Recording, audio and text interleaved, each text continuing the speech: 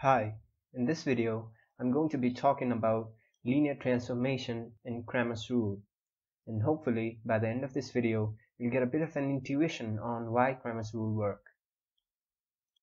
Now, linear transformation is a function which carries elements of vector from one vector space to another new vector space. What does this mean? Let me explain.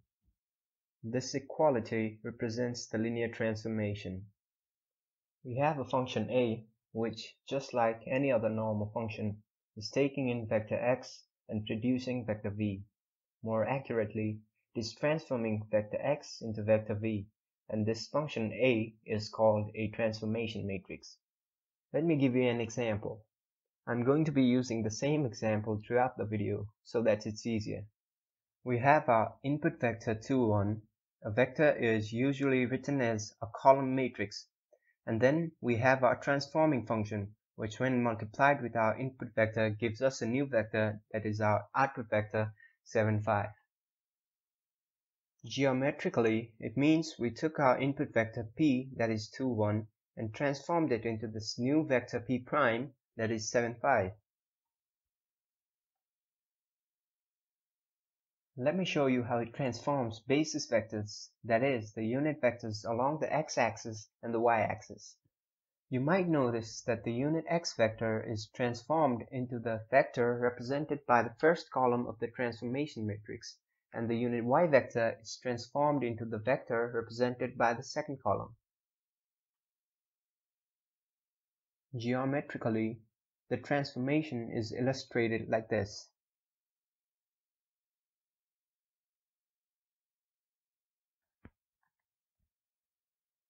Now, based on our new transformed basis vectors, we can construct a whole new coordinate system with new axes x prime and y prime. To give you a hint of what I'm doing here, let's take a vector xy and transform it. Notice that the output vector is this linear combination of the transformed basis vectors. What this tells us is the coordinate xy in the plane after transformation is still xy but with different basis vectors. Instead of ij, it is now i prime and j prime. Here's a more visual way of understanding this. Going back to our previous example, the vector p which is 2 1 after transformation is still 2 1 but on the new transformed plane. Similarly, you can find the transformed vector of any vector just by knowing its coordinate xy on the original plane. You just go x times in x prime direction and y times in y prime direction and you get the transformed vector. Now, before we move on to Cramer's rule, let me show you what determinants represent. Suppose you have two vectors 1, 4 and 4, 2. Now put them together to form a matrix. Then you compute its determinant, which in this case turns out to be 14. What this represents is the area of this parallelogram. If say we were in three dimensions, the 3 by 3 determinant would represent a volume, and so on for higher dimensions. Now, let's consider the following set of equations. Then, these equations can always be represented in matrix form.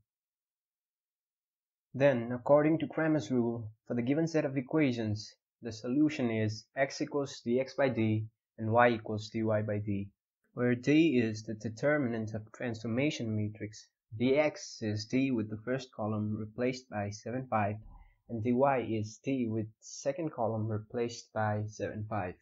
To see what's going on, let's take a look at all the determinants that we're dealing with. First, we have d which represents this area over here.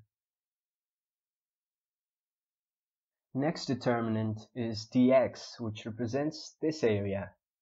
Here, the area dx is completely dependent on x, which might not seem obvious at first. To understand its dependence on x, we compare this area parallelogram with this area. Let's call it A.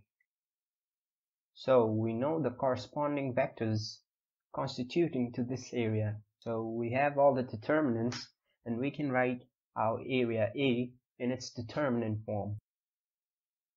And from geometry, we know that dx is equals to a, which gives us the value of x as suggested by the Cramer's rule.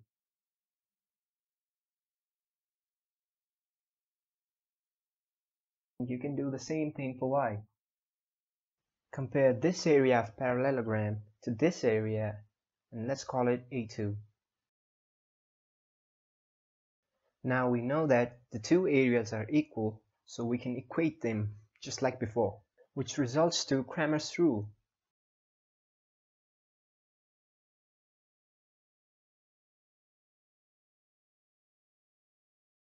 So we can conclude that the Cramer's rule is in fact correct for set of equations with two variables.